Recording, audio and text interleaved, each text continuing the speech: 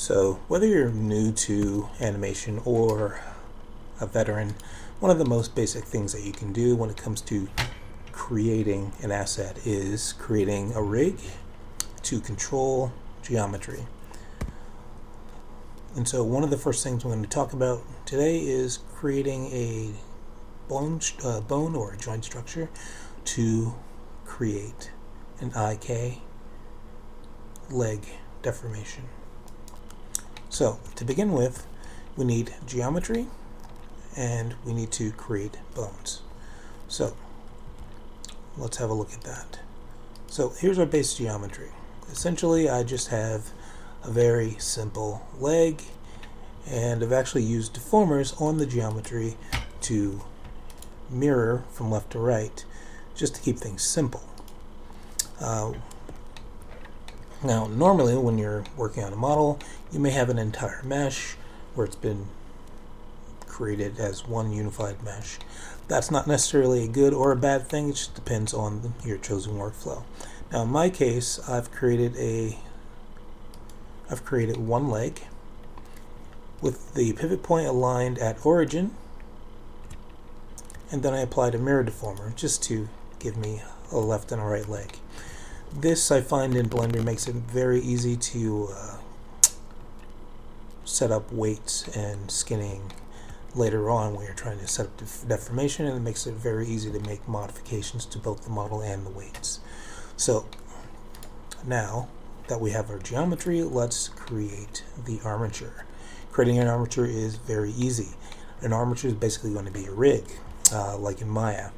Uh, but in this case, we're going to press Shift A on the keyboard and we'll get this little menu and we can choose armature and it'll create our first bone. Now by default, when you add an armature, the radius is usually set to 1. I usually increase this to about 5 just so I can see something on my screen, but you can make it something like 10 or you can leave it at 5 and then just go in directly and edit it.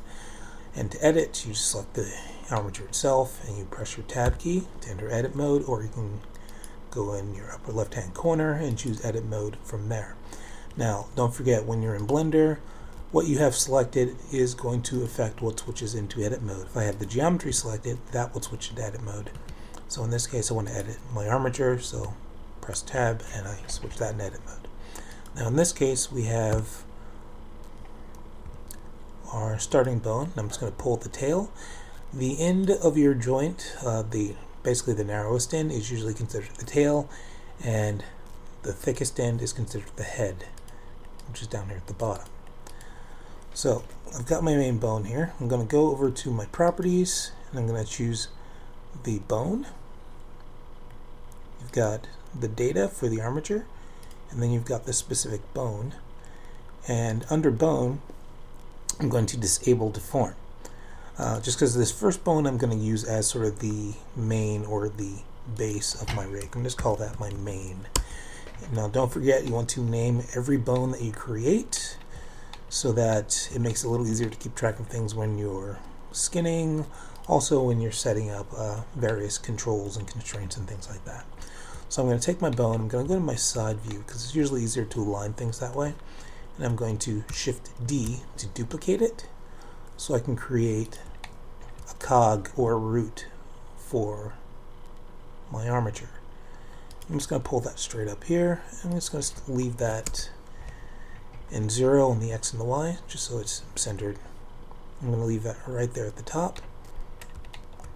And then I'm going to select that one. I'm going to shift select my main and I'm press control P and I'm going to parent it, keeping offset. And this is so that when I eventually start moving things around, everything will follow. And now the bone that I, I duplicated, I'm going to call that my cog, center of gravity, or you can call it your root, depending on how you want to uh, build the rig. And I'm going to re-enable deformation for the cog, because I want the cog to actually control part of the mesh later on. Uh, let's say if it was inside of a body, you definitely want the cog or other joints, or bones in this case. And so now usually what I do with my, my bone structure is I also create, uh, I'm going to go to my side view again, and I'm going to select the head of the cog and press E on my keyboard to extrude to create my next joint or my next bone. I'm going to pull this down. Usually when I create a bone structure, I create a central hip or center uh, hip to pivot things on just because I find it's more useful when it comes to posing during animation. And then I'm also going to extrude out from that hip once again and create yet another bone. And this is going to be my left hip. And this allows me to create some sort of offset for that central hip if I need it, just increasing the range of movement. And again, when you're creating your bones, make sure that you're labeling everything specifically. Now, um, usually when I'm creating uh, joints in Maya, which are joint, uh, Maya's version of bones, uh, I usually label them something like JN underscore hip, for example. Um, but in Maya, you're usually going to create additional controls that need to have specific names as well. So you usually have different categories of naming to keep things separated and organized. But in this case, since I'm going to, since Blender doesn't necessarily need a separate tier of controls, I'm just going to name everything directly and just to keep it short and to the point because a lot of these bones are actually going to become controls later on. So now that I have my hip, I'm going to select the tail of my left hip, go to my side view, and I'm going to, again, E, extrude, to create bones for the leg itself. Now, usually when creating bones for the leg, I will just create the one first, and I'll position the tail where I think the ankle bone needs to be, or the ankle joint needs to be and then I'll extrude out to create the ball extrude again to create bones for the toe. And then of course I'll go back through this and I need to break this large bone up so that I actually have a thigh and a knee or if I need multiple joints there I can do that as well. And it's really simple. Select your bone and then just right click and from the menu you can choose subdivide. And you can split it into just two uh, by default. It'll just cut it once. But you can come down here into the properties of the or the history of this creation and you can tell it to subdivide it more depending on what you're creating. Now of course I just need to subdivide just divide it once so, because I just need the thigh and the knee or the femur and whatever you want to call it. But basically I just need two separate bones and so I'm going to grab the head of my knee. I'm going to pull it down a little bit. Now, just like in Maya, you want to make sure that there's a slight bend when it comes to the knee. It doesn't have to be extreme. It can be very small, almost nothing at all, but it has to be enough so that the system recognizes that it's there. And this is so that when you actually add your IK, it knows in which direction to bend the leg by default. And so I'm going to grab the head of my thigh bone. I'm just going to pull this down a little bit so it's in more of a position where I want it. Now, usually you're going to have your thigh and then you'll have a little bit of the pelvis here. And so usually in that case, I'll usually have my thigh sort of angled back a little bit like this. So it's a little bit more in the, just a little bit inside of the meaty area of the gluteus.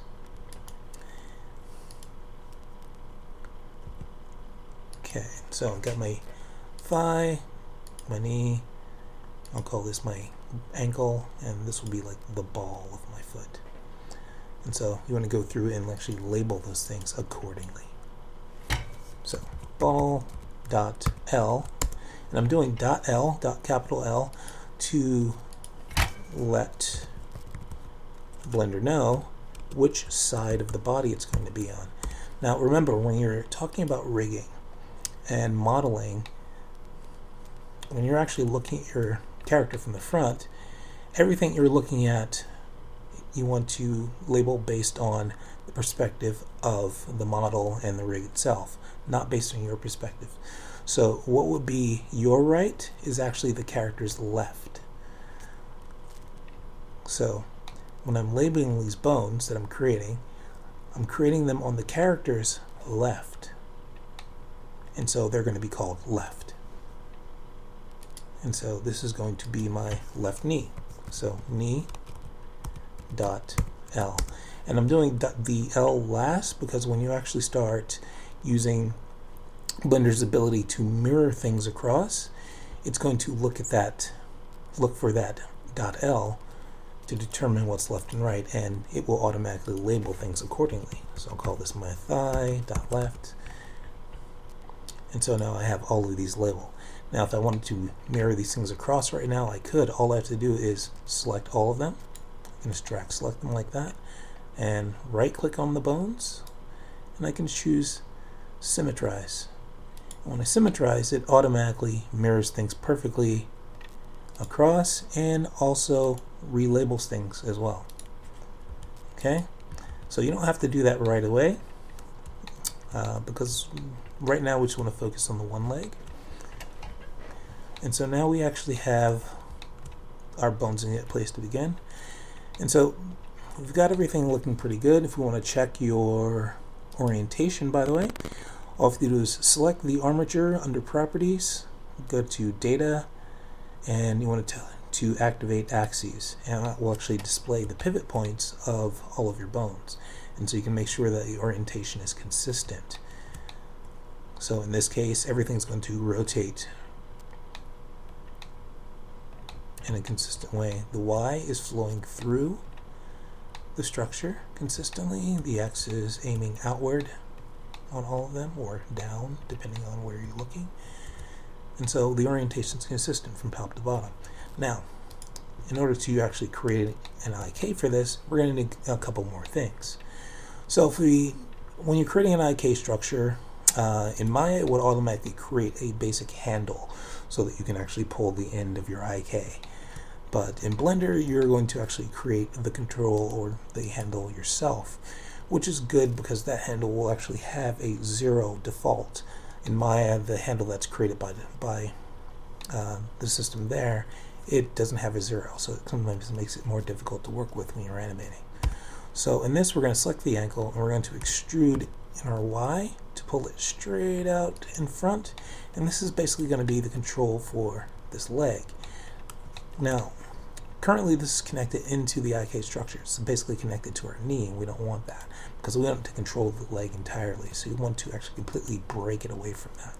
So we can right click on it and choose parent and clear and then we can clear parent. And then that bone is completely disconnected from our joint structure or our bone structure or uh, armature's hierarchy.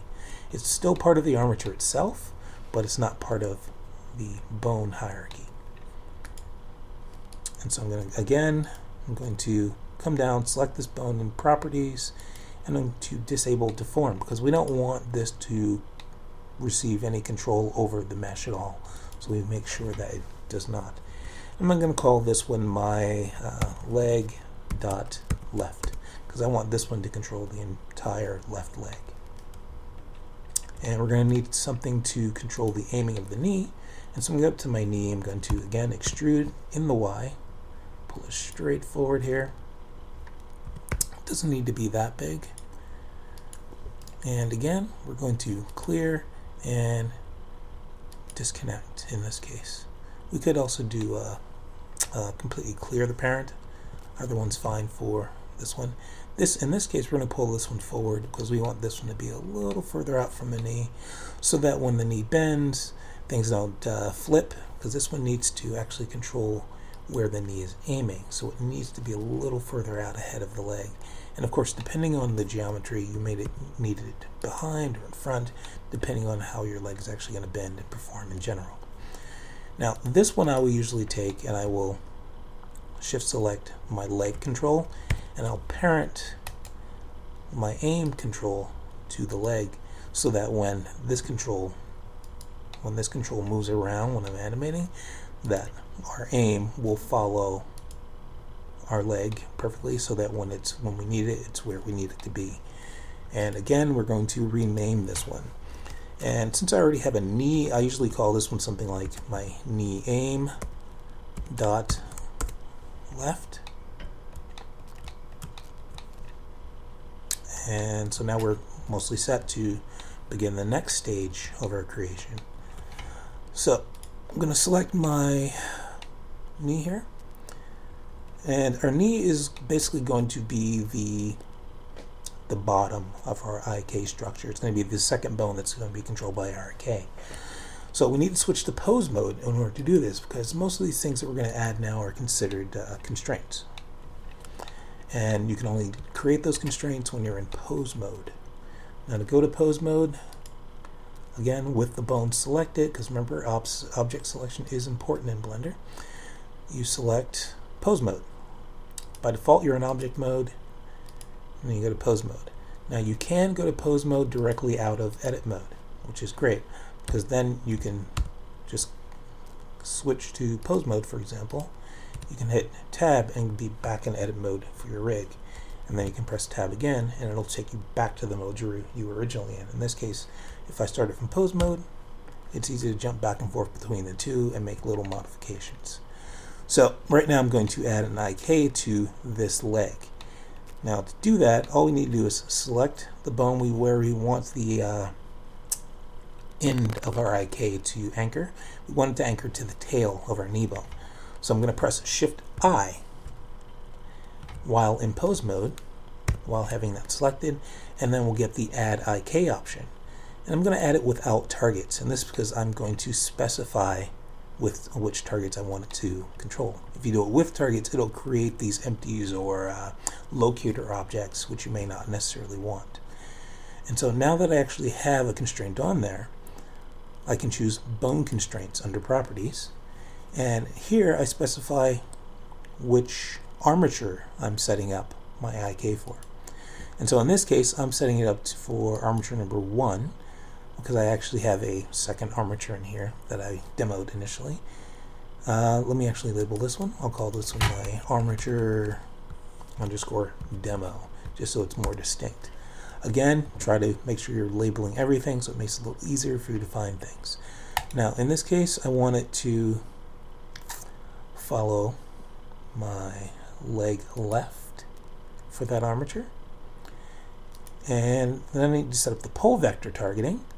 And that's going to be again choose the armature that you're targeting and then my knee aim. Okay?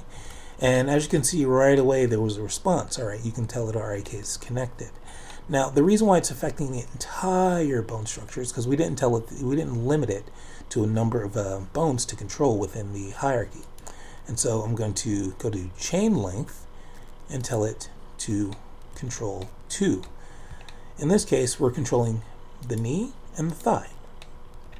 As you can see, when I select the knee, you'll get like a little dotted line that indicates the influence of the IK starting uh, anchored on this bone here.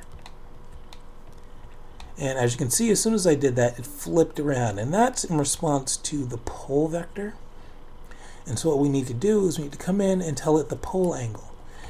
Now, sometimes, depending on the orientation, it'll flip like this or won't move at all. Uh, but if it twists around, then you just go in it and make sure you specify your pole angle. In this case, it's going to be negative 90 degrees. Uh, let me see. Is it negative 90? No, in this case, it's actually a bit more extreme. It's negative 180. So, sometimes that happens. Sometimes it's 0, sometimes it's 90, sometimes it's negative 90. It all, again, depends on the orientation of your bones. Okay, and so now we have our structure and we can actually test it. We can just select our leg control and we can just pull it up. And as you can see, we've got our IK joints responding nicely. Okay, now one other thing I like to do is I like to set it up so that when I'm grabbing my my leg control here, is that it's actually going to keep the foot flat unless I rotate that leg control. And there's a very easy way to do that. Select your leg control, shift select the ankle, which is basically going to control the overall foot. Angle and we're going to press Control Shift C and under add constraint, which is going to get this huge pop-up window that shows all the various constraints we can add to bones, I'm going to choose copy rotation. And as you can see, it immediately matches it, but we want it to maintain its default angle. So under add bone constraint, under properties, we want to go to target and we want to set it to local space owner orientation and then we want to set the owner to local with parent. And this basically tells it to pay attention to the existing hierarchy and existing default angle and all that stuff and to make sure that our ankle bone that's going to respond to the rotation changes of our leg control here. It's telling it to maintain its default position, but to add, or should I say, replace the rotation values being fed into this angle. So it's basically going to copy whatever rotations occur on our leg are going to happen to our foot. Okay? And this so everything rotates accordingly. And of course, to get everything, still have a little bit of rotation on that. Going to zero that out by selecting it and pressing Alt R to zero out the rotations. And just in case, I can press Alt G to make sure that there's no translation on that as well. So now let's say you want to uh, get the right side set up as well. It's very easy. Instead of having to rebuild the entire thing over again, all you have to do is select all of your bones that are on the left side right click over the bones and choose symmetrize. And it recreates not only the bones, but also the various constraints. Uh, now this includes, if you go back in and make some changes to settings on one of your bones on the left side, for example, and your constraints and things like that, you can easily go in and just say symmetrize, and it will also update those same settings on the right side, making it very easy to not only build structures but also to modify your rigs. And after that, in order to get your geometry to follow your bones, all you have to do is select the geometry, shift select the armature, press Control P, and then you can choose with automatic weights or with envelope. I usually do with automatic weights. And usually Blender is pretty good at assigning our skins by default. They may need a little cleanup, but usually the default result is fairly nice. Now, as long as I remembered to disable deformers on anything I didn't want to have weights, I forgot about the uh, aim, the aims there. You want to make sure the aims don't have def deformation as well, so don't forget to disable those before you do your skinning. But since they're far away from it, it shouldn't cause too much of a problem right now. And we can always go into our geometry, for example, go to its properties under shape. And we can find those knee aims, and we can actually remove them as influences. Just select them and minus them out. But it's better to make sure you're only getting things that you want in there. So again, I'm going to go back to object mode, select my armature, and then switch to pose mode. Don't forget, pose mode is under your pull down menu in the upper left hand corner. And you can also set up uh, some quick keys for that, some hotkeys. All you have to do is right click on the menu option and you can tell it to change shortcut or create a shortcut if you don't have one in there. And try to avoid conflicting with something that already exists because it can cause you problems. And then quickly test it and as you can see, it's now moving our leg, no problem. And notice that we just have the left side moving. Even though this is a piece of mirrored geometry, it assigned the weights correctly. It did left and right without issue.